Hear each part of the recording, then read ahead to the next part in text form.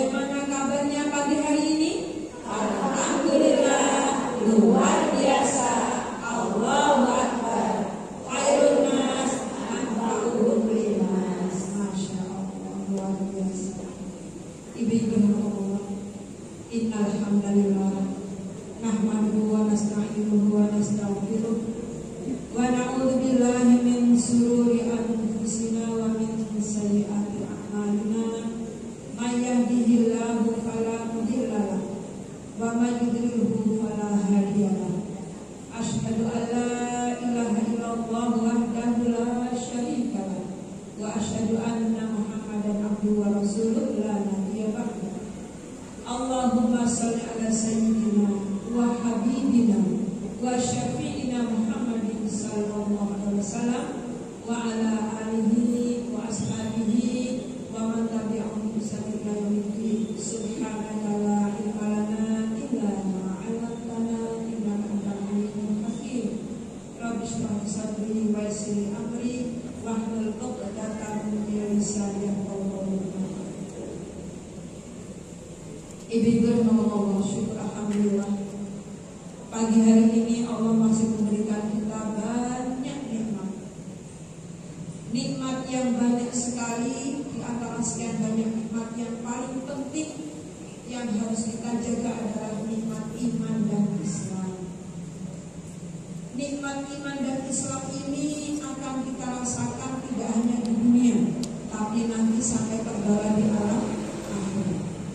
sampai nanti kita masuk surga bersama-sama. Ibu berngomong, sering kali kita tidak menyadari betapa kita ini punya punya mutiara, punya berlian yang sangat mahal yang diberikan Allah kepada kita. Bukan kita beli, tapi diberi sama Allah. Yaitu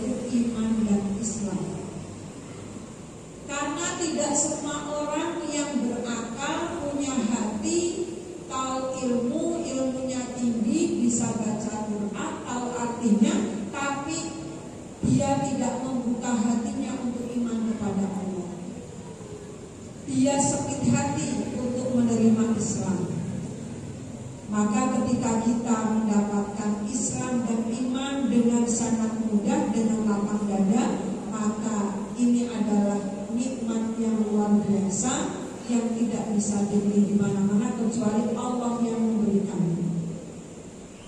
Suatu hari Rasulullah SAW duduk termenung menampakkan wajah yang sembuh. Lalu para sahabat bertanya, ya Rasulullah, Kenapa Rasulullah bersedih? Apa yang membuat Rasulullah bersedih? Lalu beliau sampai sangat menjawab, Aku rindu dengan saudara-saudaraku. Aku rindu dengan saudara-saudaraku. Ya Rasulullah, bagaimana mungkin engkau rindu dengan saudara-saudaramu? Sementara kita ini saudara, ya Rasulullah. Kita semua ini saudaramu. Bilang, oh bukan. Kamu bukan saudaraku. Kamu adalah sahabatku.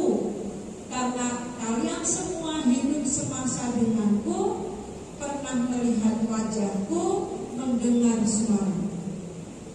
Kalian semua adalah sahabatku. Lalu saudaraku, siapa ya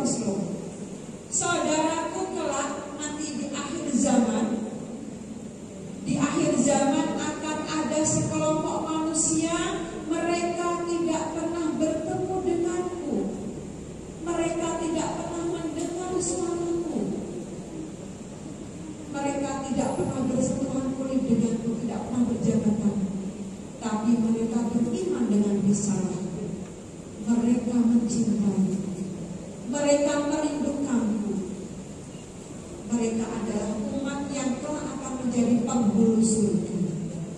Sekelompok yang akan masuk surga paling duluan. Insya Allah kita termasuk yang dia. Amin. Insya Allah kita termasuk di dalamnya. Kita ini hidup lama jeda waktunya dengan Rasulullah. 14 tahun. Kita tidak pernah melihat wajah Rasulullah Sallallahu Alaihi Wasallam kita tidak pernah mendengar suara beliau. Tapi Alhamdulillah Allah membuka hati kita, pelapangkan dada kita untuk menerima Islam dan iman kepada risalah Nabi Muhammad Sallallahu Alaihi Wasallam. Ibu berhubung, Ibu masih ingat siapa nama pamannya Rasulullah SAW? Siapa Bu? Abu Talib. Abu Talib ini saudaranya Ibunda Aminah. Setelah Ibunda Aminah meninggal, kakeknya bernama Abdul Muthalib meninggal. Rasulullah ketika itu usia 8 tahun dibesarkan oleh pamannya yang bernama Abu Talib. Abu Talib ini seorang paman yang luar biasa sayangnya kepada Rasulullah Sallallahu Alaihi Wasallam. Beliau bukan orang kaya, tapi jiwa raganya semuanya perhatiannya penuh kepada Rasulullah SAW keponakan yang paling disayang. Bahkan beliau ikut berdagang bersama pamannya. Karena pamannya miskin, maka beliau membantu pamannya dengan cara mengembalakan kambing supaya dapat uang, supaya bisa membelanjakan membelanjai dirinya sendiri. Tapi subhanallah, ketika Abu Talib mau meninggal, itu Abu Talib didampingi oleh Rasulullah dan para sahabatnya yang masih kafir, yang masih jahiliyah, yang masih mengagungkan Lazza, Uta dan Mana. Mereka masih menyembah patung berhala-berhala itu. Maka ketika Rasulullah bilang, wahai pamanku, ya amin, wahai pamanku, ucapkan la ilaha illallah, la ilaha illallah. Ketika si paman mau mengucapkan kata-kata itu, ini orang-orang dua itu sahabatnya bilang, Hai Abu Talib, kamu tidak setia dengan agama nenek moyang kita. Abu Talib melihat sahabatnya dengan wajah biru. Lalu sebelah kanannya bilang, Abu Talib, engkau ingkar janji, engkau orang terpandang di antara kami. Apakah aku akan khianatkan?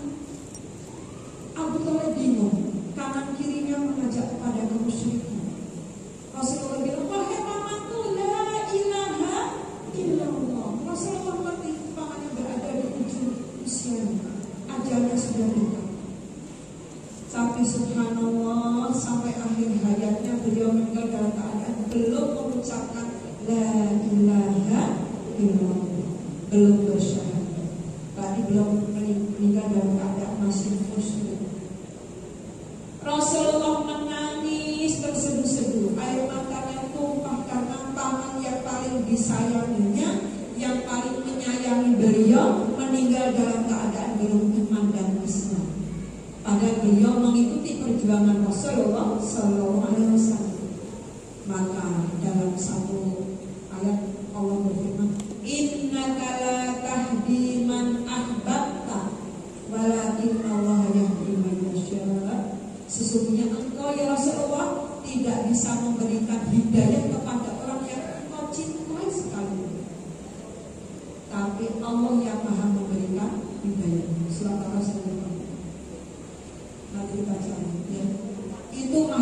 hidayah.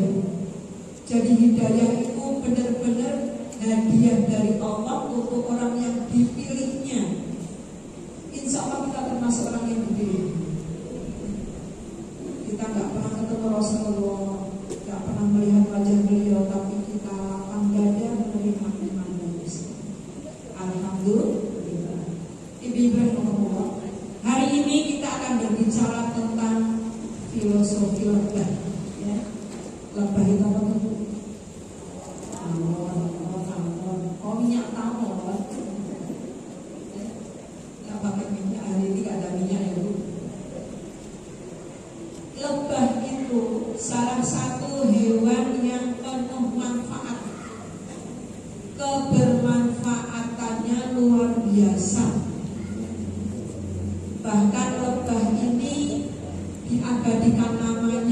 Gonzalez.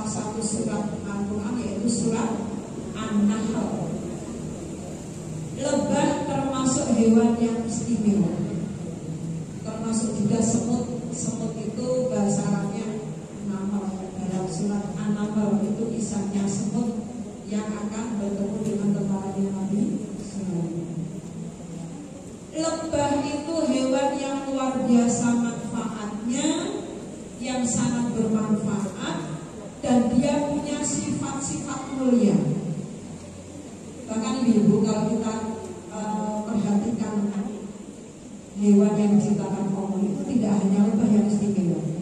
Contohnya, ibu kenal dengan sapi ya bu ya. Sapi itu makannya apa? Rumput. Rumput warnanya apa? Hijau.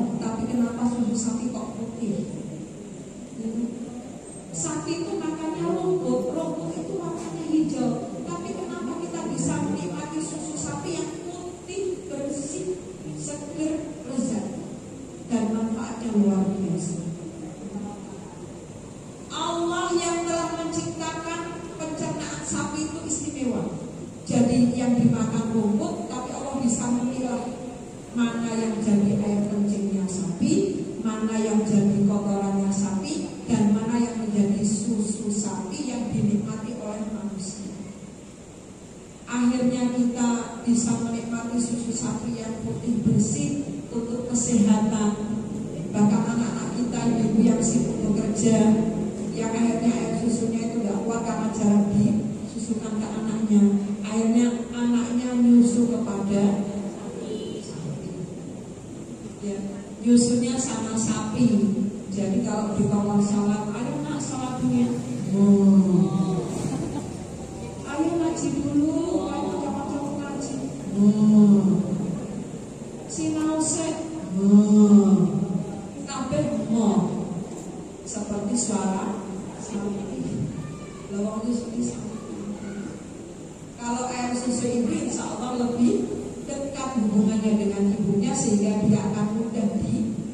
untuk ke yang baik.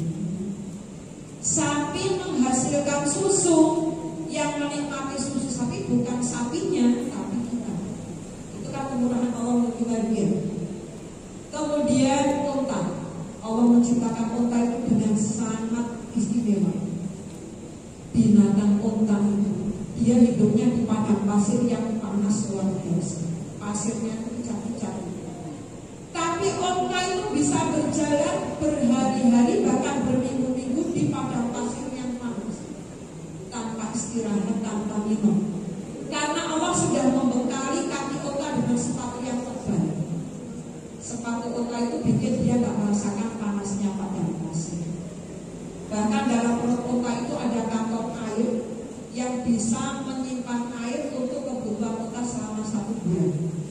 jadi dia jalan terus gak minum. Selama kantong air itu masih ada airnya dia gak haus. Begitu kantong air itu habis dia haus maka dia akan minum sak sumur tidak gede dihabiskan.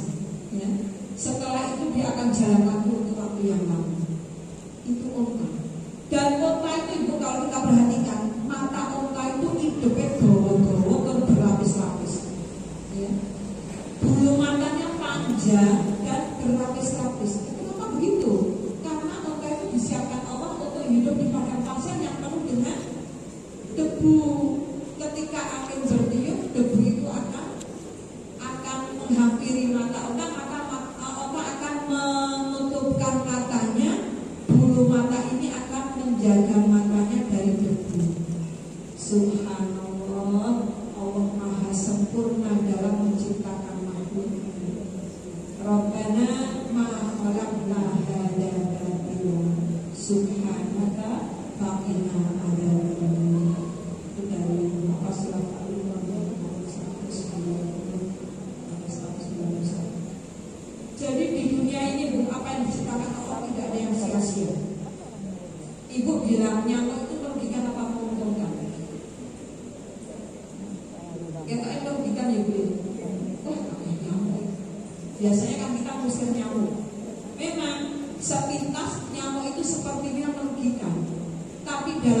ekonomi nyamuk itu memberikan dampak ekonomi yang luar biasa.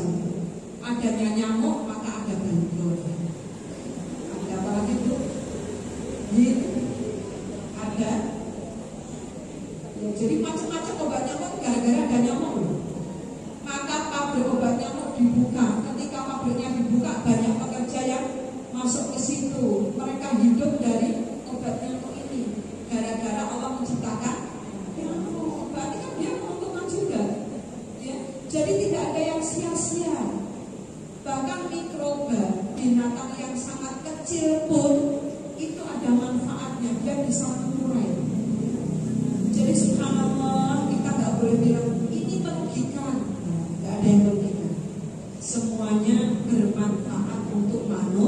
manusia Rabbana ma khalaqta hadza batila subhanaka faqina adzabannar Maha suci Engkau Allah tidak ada yang sia-sia yang menciptakan Ibu Ibrahim mengatakan tikus itu ber, uh, berbicara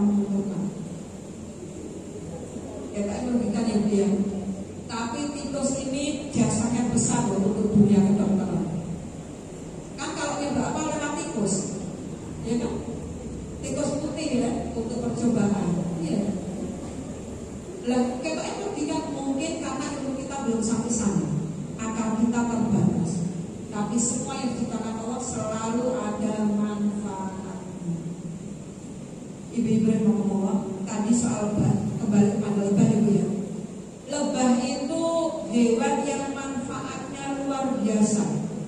Yang pertama, dalam satu hadis Rasulullah menerangkan, hendaknya sifat seorang mukmin itu seperti lebah. Karena lebah itu sifat yang pertama, dia tidak makan sesuatu kecuali yang bersih. Lebah tidak mau di tempat yang kotor.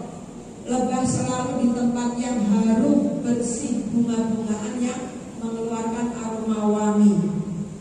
Lebah itu menghisap madu bunga yang dihisapnya baik-baik. Sing dia tidak mau. Dengan dia menghisap madu, maka putih dan benang sari akan bertemu. Ketika benang sari dan putih bertemu, akan menjadikan pembuahan. Maka bunga menjadi bakal buah. Maka tumbuhlah buah itu dan kita yang menikmati ya kita bisa menikmati mangga, apel, kemudian pir, sirsat, semuanya jeruk. Itu semuanya dari perbuatan lebah ini yang menghasilkan mempertemukan pedang sari dan lebah tidak mau makan yang kotor-kotor. Beda dengan lalat. Kalau lalat pikirannya sampah. Pikirannya kotor. Makanya dia selalu ketemunya dengan sampah ukurannya bunga yang baru. Maka dia ketemu dengan bunga ya, sama dengan kita hidup kalau pikiran kita kotor ketemunya yang kotor. Kalau kita pikirannya bersih ketemunya yang bersih. Makanya berpikir positif. Jangan berpikir yang negatif. Kita melihat orang kita oh, kok seragam ini cuma melihat terus mesti orang yang belum tentu. Bisa jadi dia cerahkan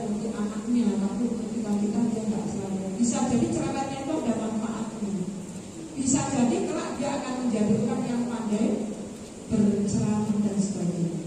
Ya. nilai orang dari sisi positifnya. Ibu-ibu yang Allah berarti lebah itu yang dimakan yang baik-baik. Berarti orang yang beriman yang dimakan itu yang halal thayyiban mubarak. Yang subhat tinggalkan. Apalagi yang haram yang dimakan yang halal tajibat mubarak. Termasuk dari zatnya atau masuk dari asbabnya. Ada kalanya air ini halal tapi belinya dengan uang korupsi dengan uang hasil judi dengan tipu-tipu. Maka ini menjadi halal karena dibeli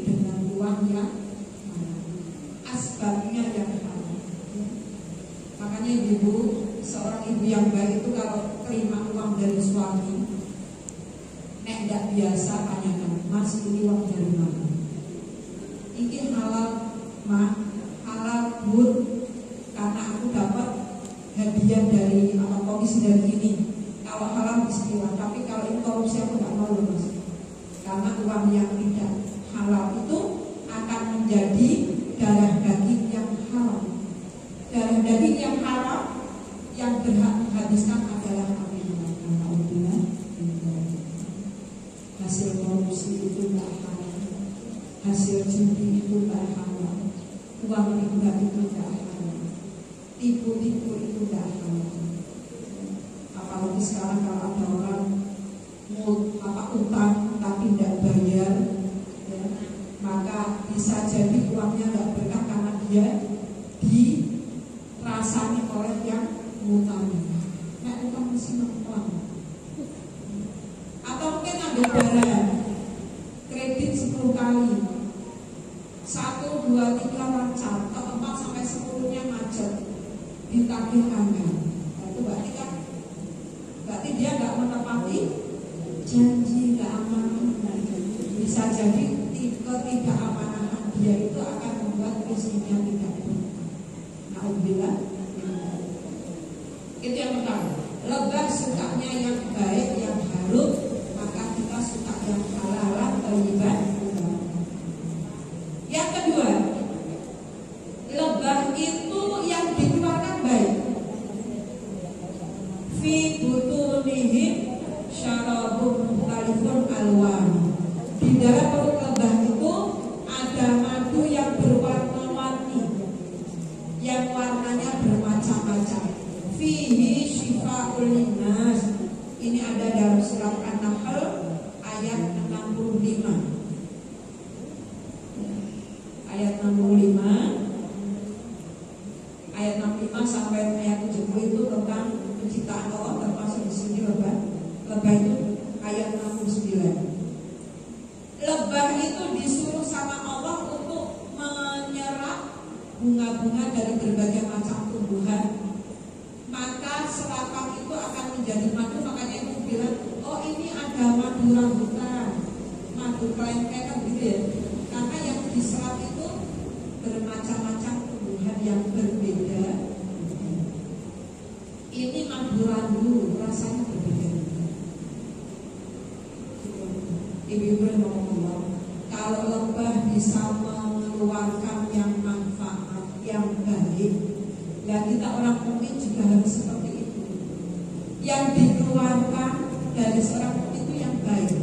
Kalau dia bersedekah dengan harta yang halal, kalau dia berucap dengan ucapan yang baik, wa qulu husna. Katakan kepada manusia dengan kata-kata yang baik. Wa qulu husna. Ibu-ibu kata-kata yang baik itu menjadi indikator keimanan seseorang. Rasulullah SAW itu mengukur iman seseorang dari kata-katanya, dari ucapannya. Maka beliau bersabda, "Maka yu'minu billahi wal yaumil akhir falyaqul khairan aw Barang siapa beriman kepada Allah dan hari akhir Maka dia berkata yang baik Atau dia Fayakul khairan awliyasir Kalau dia tak bisa bicara baik Lebih baik dia Ibu-ibu Allah Kadang-kadang ada orang yang Sholatnya oke okay, Puasanya oke okay, Tapi belum bisa menjaga lisannya. Lisannya kasar, caci maki,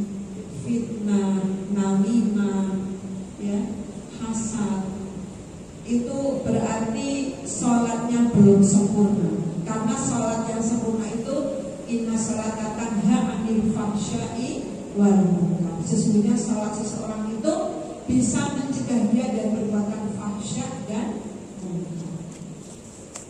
Ibu-ibu rahimahullah, kalau kita ingin menjadi orang yang bermanfaat, saya tuh kagum dengan ibu-ibu Nurjana, luar biasa. Kalau hari Jumat bisa mengeluarkan Jumat berkah dengan porsi makanan yang ramah sambil.